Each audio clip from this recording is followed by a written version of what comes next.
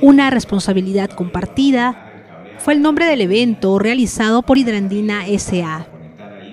Todas las personas que laboran en el sector eléctrico deben conocer las medidas de seguridad, las normativas y cómo prevenir accidentes al instalar equipos eléctricos dentro de domicilios o empresas y en las redes de baja y media tensión.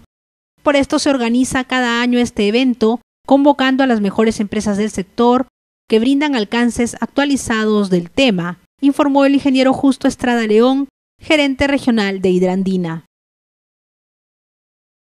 En el seminario participaron empresas de distribución de materiales eléctricos y productos para seguridad, así como referentes nacionales en la industria de los sistemas de cableado, cuyos representantes se mostraron muy complacidos con el interés de los asistentes.